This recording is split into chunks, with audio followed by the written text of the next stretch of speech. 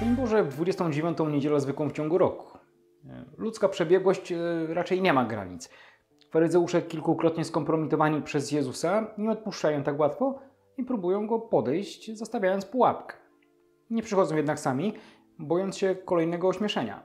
Wysyłają swoich uczniów z pytaniem o podatki, bo wydaje się, że każda odpowiedź będzie błędna. I w ten sposób będą mogli oskarżyć Pana o bunt. Dlatego ci wpierw robią podłoże do pytania, mówiąc: Nauczycielu, wiemy, że jesteś prawdomówny i drogi Bożej wprawdzie nauczasz. Na nikim ci też nie zależy, bo nie ogląda się na osobę ludzką. Wszystko wygląda na uczciwą walkę, bo stwierdzają, że należy iść wyznaczoną drogą i nie obawiać się komentarzy za plecami. Mieć szacunek dla ludzi i rządzących, ale klękać tylko przed Bogiem. To jest szczera prawda, bo tak należy postępować. Widzimy nawet Wiemy nawet doskonale, że władza się zmienia tak samo jak i czas płynie, ale Bóg jest niezmienny w swojej postaci. Tylko trzeba tu zwrócić uwagę na jeden szczegół w tej rozmowie. Ona nie prowadzi do uczciwej dyskusji i wspólnego dochodzenia do prawdy. Ona stała się narzędziem walki. Jezus nie wszedł w ich grę. Udzielił takiej odpowiedzi, że uczniowie zmieszali się i odeszli. W historii naszego narodu było wielu przywódców dobrych i złych. Były systemy sprawiedliwe i niesprawiedliwe.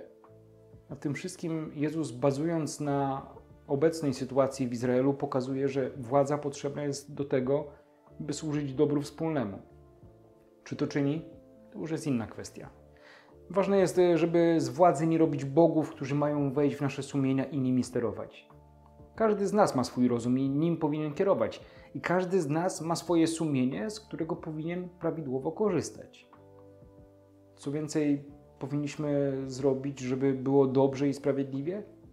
Po pierwsze, oddać Bogu to, co się Jemu należy.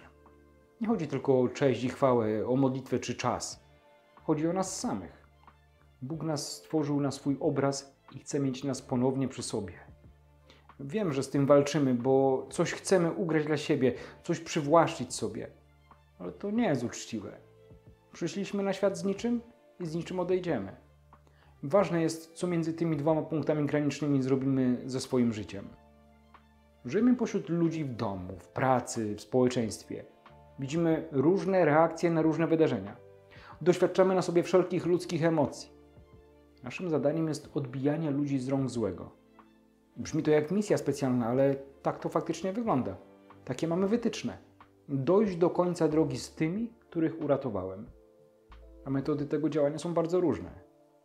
Okupione własnym cierpieniem, wieloletnią modlitwą, odmawianiem sobie wielu rzeczy, by dać je innym, troską i cierpliwością. Może się okazać, że przy końcu tej drogi będziemy wycieńczeni, ale nikt nam nie powie, że nic nie zrobiliśmy. Tym tygodniu za nie mówiłem na lekcji z siódmą klasą, bo padło pytanie, dlaczego grób Jezusa był pusty.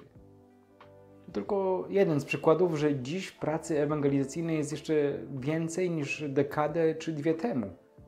To jest nasze oddawanie się Bogu. To jest najtrudniejsze zadanie, bo pieniążek na podatki zdobędziemy w różny sposób.